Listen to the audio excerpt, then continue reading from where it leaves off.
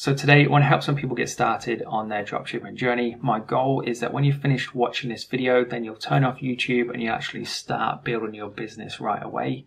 So after speaking to quite a few people who are interested in dropshipping but don't really know where to start, it's because they don't know what products they want to sell um, or at least what niche they want to sell in. At least if you have a niche, then you have a direction, a focus, a purpose, and you can kind of build a vision in your head of what your business is going to look like, and then you can go out there and start building it. So that's what I'm going to help you do in this video today. I'm going to cover three of my favorite niches for this time of year. They're super relevant and trending for this time of year, so they're definitely um, some of the easier niches to get started in and start seeing some results right out of the gate.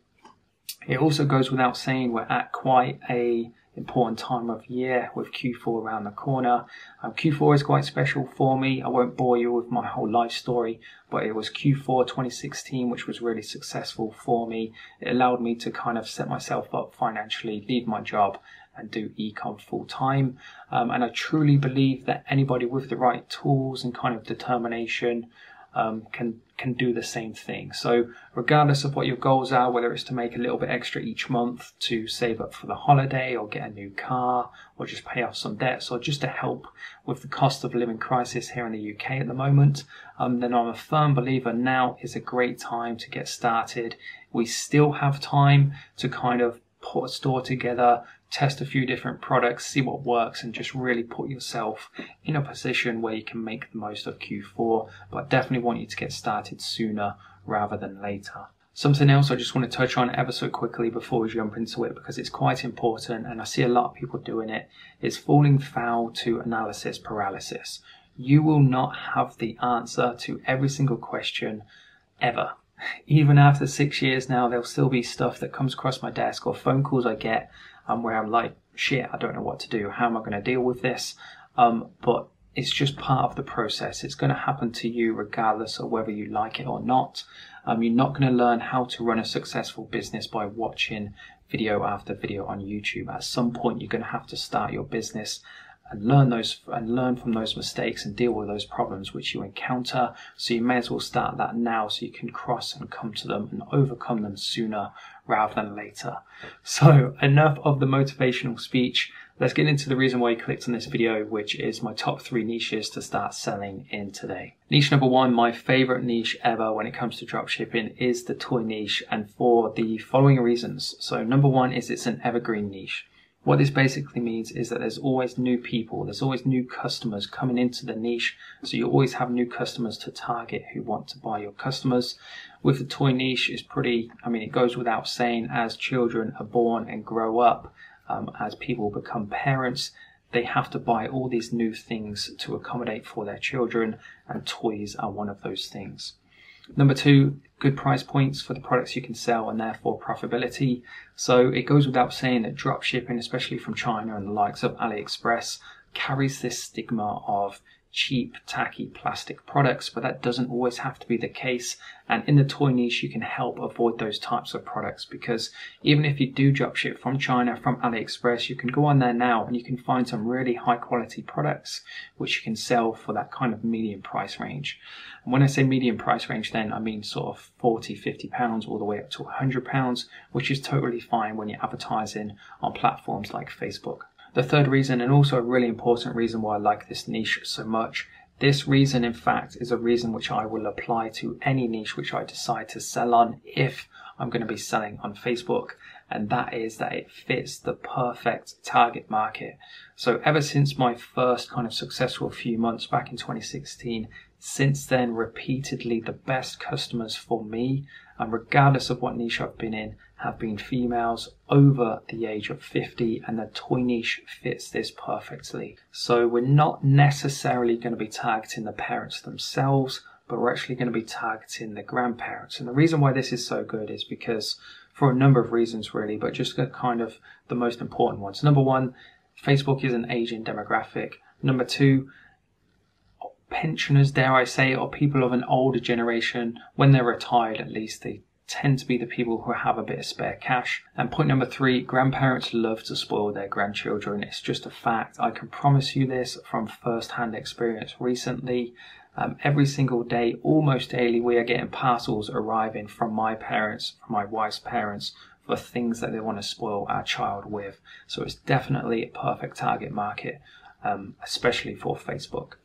Last but not least, then, before we move on to the next niche, I just want to touch on the types of products, um, in my opinion, work best within this niche. Try and stay away from things that have screens, things that involve technology. Um, people won't buy things that they don't understand. So if you're going to be targeting that kind of grandparent um, age range or age bracket, they didn't grow up with screens, and therefore they're probably going to stay away from buying things like tablets um, or anything like that. Stick to educational and stick to developmental products, if that's even a word. So when I say this, these are products, physical products that a child can do things with. So when I grew up as a child, we had things like K'Nex, things like Lego. So think of toys um, that kids can build things with or um, destroy things with or just have fun with where the parents and grandparents can join in as well. And if you can get a really solid product with a really cool ad and put it in front of a recently new grandparent then you're definitely going to be onto a winner. Niche number two is also one of my favorite niches. If you've been following me for a while i've made quite a bit of money in this niche which is the led niche um, or more specifically the LED safety niche. So here in the UK, the nights are already getting younger um, it's getting dark in and around sort of half seven. It won't be long before it's dark by the time people finish work. So think of the sort of things that people are now doing in the dark, which they weren't before. They're things like walking or hiking or running or exercising or cycling or commuting to and from work.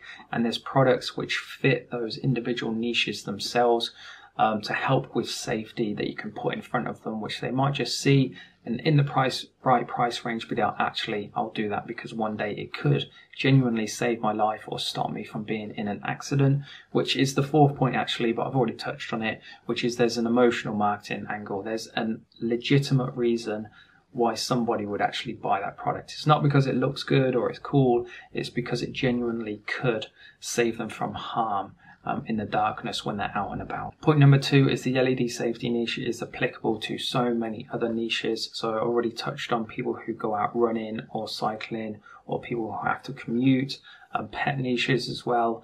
Um, people who have to walk their dog after or before work will have to do it in the dark now. So there's certain products again within that niche which you can put in front of a person um, which they can use to help keep their pets safe. Last but not least, it is eye grabbing. Some of the most successful dropshipping products in history have been LED products. And the reason being is because they make a cool effect. Simple as when somebody's watching a video, if there's a cool effect which is eye grabbing and attention grabbing, they're much more likely to actually consume and stop and consume and watch that video. Um, and therefore, it's going to be an effective marketing campaign and you're going to get traffic onto your store for pretty cheaply. So the third and final niche which I want to go over is the jewelry niche. Now this does come with a word of caution because it's super important on the actual products that you pick inside, but I'll cover that in a second. First of all, let's go over the positives. So number one, it is really, really popular over the Christmas period. It peaks kind of early December. So if in fact, if I just show you the Google Trends information just quickly. So we've got the three niches which I'm talking about here. We can see they all sort of go up and peak um, in the period in which we're coming into now. Toys is just ridiculous as we can see here now. It just spikes in popularity massively. Even when it's not in season, it's still more popular than these other two niches. I touched on that as an evergreen niche, a brilliant niche, the toy one. If I actually just remove this, then we'll see the better effects of LED light and jewelry. And we can see here jewelry spikes massively. Again, even when it's not in season, it's still a pretty popular niche. The second reason why I'm going to recommend this niche is it's very flexible. Within the jewelry niche, the jewelry is kind of like a mega niche, if you like. Within it, there's lots of different sub niches.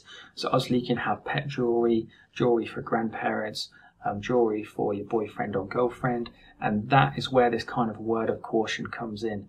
Don't go out there and try and sell just generic watches that aren't branded, um, cheap, and people can kind of smell them a mile off as just being cheap Chinese brands. Make sure the piece of jewelry which you're selling has a purpose for the person in which you're going to be advertising it to.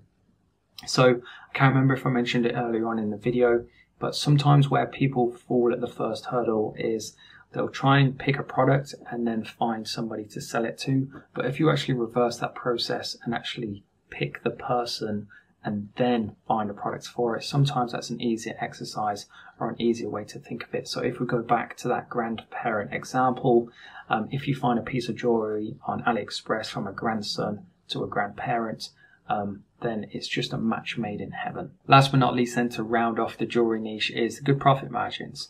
So as long as you can put a really professional and well designed Shopify store together, uh, do the same for your products and present them in a professional way, maybe even a luxurious manner, and then you can charge a premium for these products. I've discovered TikTok ads where people have been selling pieces of jewelry for like 60, 70 pounds, and then you can find it on AliExpress for less than 10. So that just gives you a rough idea um, of the potential of the jewelry niche. So with that being said then, I hope this video helps. I hope it's given you some ideas and some directions to consider. But more importantly, I hope after watching this video, you will, number one, subscribe to my YouTube channel, and number two, actually get off of YouTube and go out there, start putting together a vision board or, at least start picturing in your head the kind of business you want to start um, and actually start building it. I hope you enjoyed the video. Thanks for watching and see you in the next one.